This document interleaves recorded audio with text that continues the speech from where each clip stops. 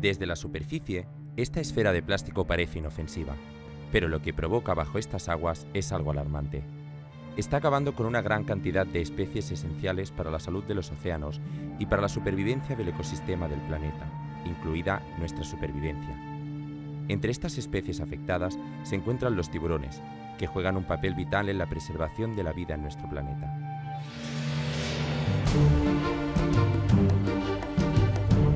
La isla del Coco está situada en el Océano Pacífico y pertenece a Costa Rica, que la denominó Parque Nacional en 1978.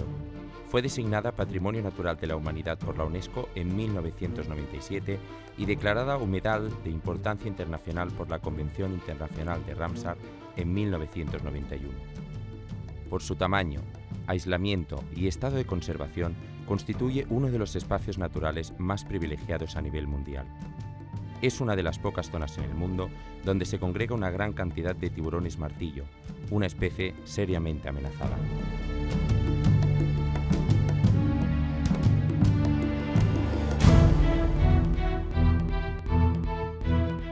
A pesar de que la fauna marina de la isla del Coco está teóricamente amparada por un área marina protegida que cubre un radio de 12 millas, la pesca ilegal es un problema grave y persiste en la isla.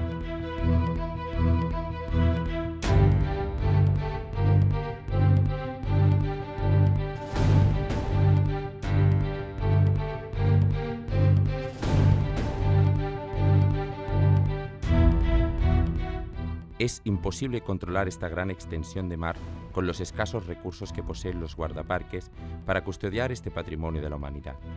Así que su protección es relativamente ficticia, porque resulta un fácil coladero para multitud de barcos que pescan ilegalmente en sus aguas.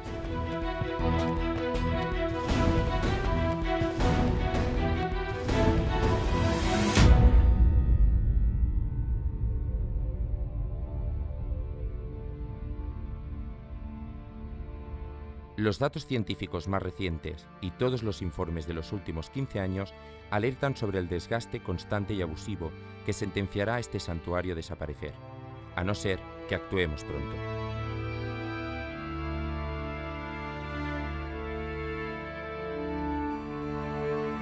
Es especialmente dañina la pesca indiscriminada de los tiburones para el comercio de sus aletas, muy preciadas en el continente asiático.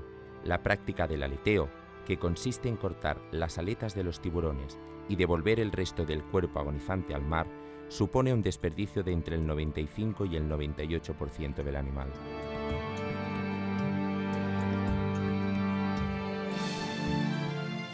En la base de la cadena alimenticia marina está el fitoplancton, que es el responsable primario de generar oxígeno en la atmósfera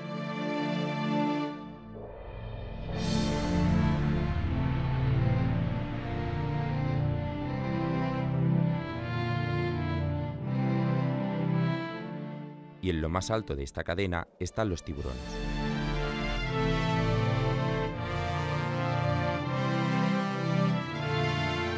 La sobrepesca de tiburones y su drástica disminución provoca una baja producción de oxígeno. ¿Cómo? Porque ellos son los depredadores que evitan que el resto de poblaciones de peces aumente de manera desorbitada y por extensión ejercen un control sobre el consumo del fitoplancton. La isla del Coco es un patrimonio de la humanidad, así como lo son las pirámides o la Gran Muralla China. Aunque estos dos últimos sean patrimonios culturales y la isla del Coco sea un patrimonio natural, la simple denominación de patrimonio de la humanidad declara un punto del planeta como poseedor de materia de gran importancia. Ninguno de nosotros se atrevería a destruir monumentos u obras de arte por un simple interés comercial. ¿Por qué miramos para otro lado cuando se trata del medio ambiente? ¿Por qué no sentimos el mismo efecto para reaccionar y apreciar nuestras maravillas naturales? Desde Nakagüe nos proponemos cambiar esta perspectiva. Queremos ayudar a proteger de forma efectiva este maravilloso lugar, para que el mundo no pierda este entorno. Pero necesitamos vuestra ayuda para conseguirlo. Nuestra intención es colaborar con el Parque Nacional Isla del Coco para reforzar las patrullas que realizan los guardaparques en la zona. Debemos incrementar el número de barcos de inspección. Pretendemos informar, concienciar y sensibilizar sobre la situación de la isla del Coco, con acciones educativas y mediante una película de animación para toda la familia. Nuestros personajes narrarán una historia verídica que expondrá cada sensación que produce sentir toda la vida que hay dentro de sus aguas y la problemática que impide desarrollar esta vitalidad. Todas las imágenes que ofrece este lugar hablan por sí solas, suplicando nuestra ayuda, así como también advierten que sus fuerzas de resistencia ante el exterminio abusivo que sufren son más débiles cada vez.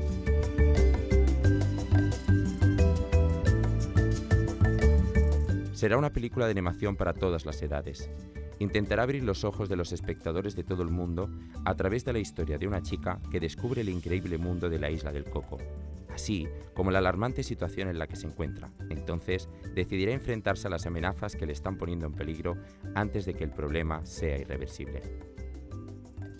En Nakagwe nos gusta más así. ¿Nos ayudarás a conseguirlo o decidirás quedarte en la superficie? Ayúdanos a atacar el fondo del problema. Todos somos capaces de poner fin a esta situación antes de que sea demasiado tarde. Desde Nakagwe buscamos colaboradores y patrocinadores que nos ayuden a propagar este mensaje y actuar sobre las zonas más críticas y amenazadas de nuestro planeta. ¿Te sumas?